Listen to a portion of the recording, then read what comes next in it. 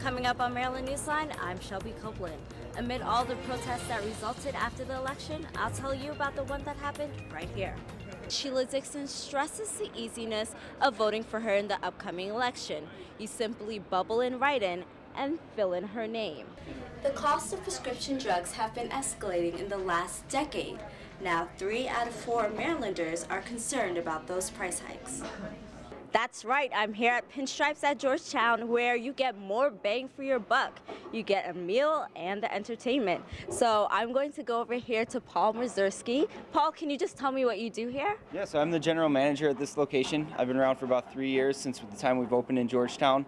So manage day-to-day operations. One of my favorite things to do is checking in with the guests, making sure that everybody's really having a great time while they're here with us. Great. Now you see here that it's quite empty, but what is it like on a typical Friday night? Yeah, Friday night we'll pack about 100 people into the lanes here, so each lane can accommodate up to eight. And on a Friday night, we do have quite a crowd, so you're going to see that every one of the you know comfortable couches has people on it doing food and beverages. People come after work for cocktails, and a lot of them stay till we close at one o'clock in the morning. Alrighty, well for kicks and giggles, I'll try my hands at some bowling here. Um, so I will just take this and you just throw it out. Yeah, absolutely. Alrighty. And I knew it. Of course I would get a gutter ball.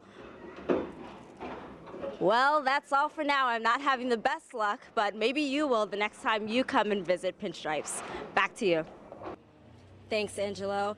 In one of the most divisive presidential elections of our time, Marylanders finally began casting their ballots on the first day of early voting. We told you earlier that Vermont has been called for Hillary Clinton, and Indiana and Kentucky were called for Trump. Well, we have one more to add to that list. West Virginia is also called for Trump. North Carolina is closed just at 7:30, so we could see more results coming in shortly. Maryland's polls have just closed moments ago at 8 o'clock, and CNN is projecting a win for Maryland for Hillary Clinton, as have Delaware, D.C., and the swing state of Pennsylvania. All of those numbers are tallying up, and we'll have more updates coming your way. Here in Maryland, we'll be looking at the Senate race where Democrat Chris Van Hollen is running against Republican Kathy Szeliga in a bid to fill longtime Senator Barbara Mikulski's seat. We'll bring you more updates and results as the evening progresses. Back to you in the studio. On their mission to South Carolina, members of the Civil Air Patrol flew four hours in this aircraft 88 year old homeowner Leonard Miller woke up to a silver Honda crashed into his home. Now, if you look at this, imagine dealing with this kind of situation for the fifth time. That's right, Miller says this is the fifth time in 46 years that a car has hit his home.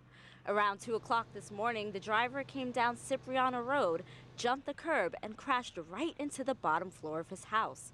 Miller says he woke up to the loud crash, came downstairs, and there it was, right in his living room. What I felt and heard was a car was coming through my windows. Police have not released any details about the state of the driver, but we do know that he was taken by another car to the hospital.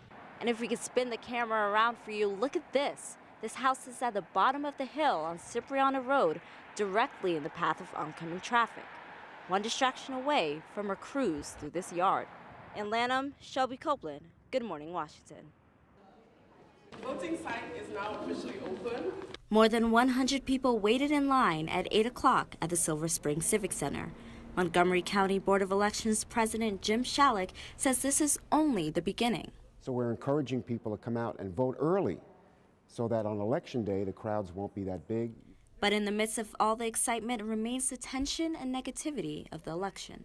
I guess it's probably in history wise one of the nastiest elections that, that I can remember good manners, people being civil to one another, has sort of like disappeared. Although it's been a rough ride, these voters think that it's better to vote and vote early than to not vote at all. I'm Scotch Irish, so the rules are if you don't vote, you can't complain. So now I have the option of complaining. I think it's really important that everyone make their voice heard. That's the essence of our democracy. As voters head inside to cast their ballot, campaigners make their final efforts to promote their candidates. The consensus among this voting location Hillary Clinton. I'm here because um, I'm 100% totally excited to be a nasty woman to change the course of history, casting my ballot for the first woman president of the United States. The more often you do your job, the better you are at it. and she's been there and she's done that, and that's why I'm voting for Hillary. It was tough to find a Trump supporter in this crowd, and some wanted nothing to do with either major party candidate. I'm one of the small minority of people who decided not to vote for either one. I decided to vote for a libertarian candidate. Board of Elections President Shalleck says this may well be the largest voter turnout since early voting began in Maryland four years ago. It's really exciting. We're electing a president. Nothing more important than that. In Silver Spring, I'm Shelby Copeland, CNS TV. It's finally election day, and Donald Trump is still the Republican nominee, but without the support of some members of his party.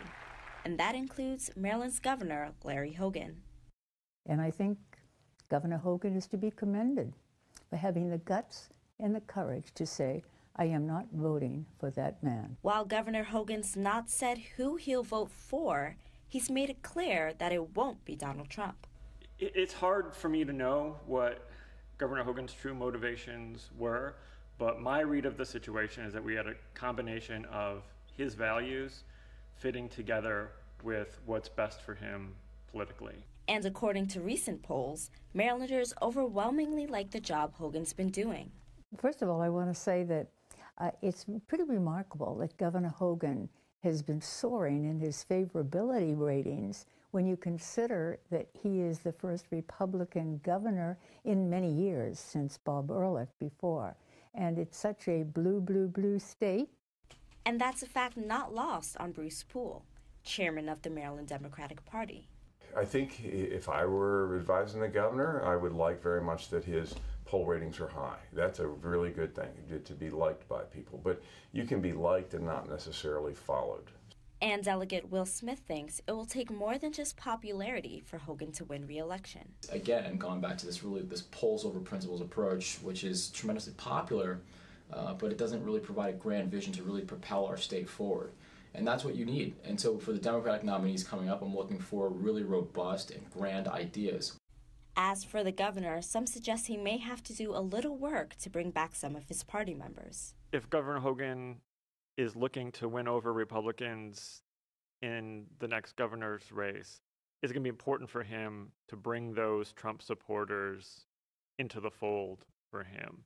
And the clock is running. The gubernatorial primary is set for June 26, 2018. In Annapolis, Shelby Copeland, CNS TV.